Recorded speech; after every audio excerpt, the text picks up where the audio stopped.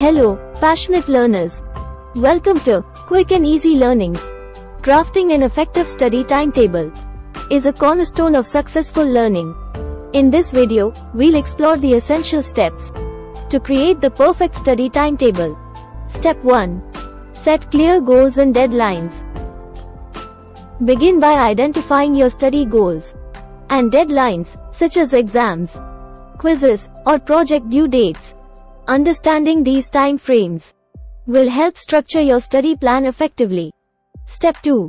Prioritize subjects and tasks.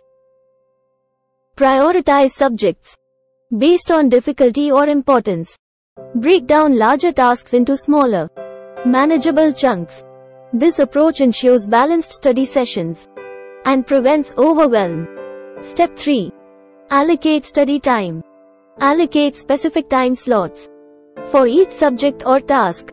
Create a consistent routine by dedicating set hours for studying, aligning with your peak productivity times. Step 4. Include breaks and review sessions. Incorporate short breaks between study sessions to recharge. Schedule review sessions to revisit previously learned material, reinforcing understanding and retention. Step 5. Adaptability and flexibility. Visuals emphasize adaptability in the study timetable. Be flexible and adaptable.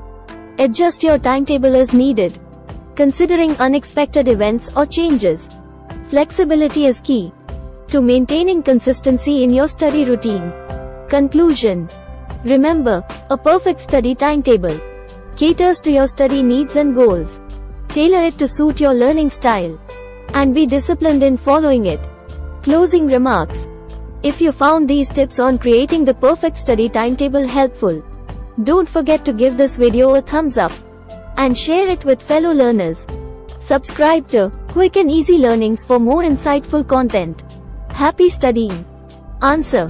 Creating the perfect study timetable involves setting clear goals and deadlines, prioritizing subjects, allocating study time, including breaks and review sessions and maintaining adaptability.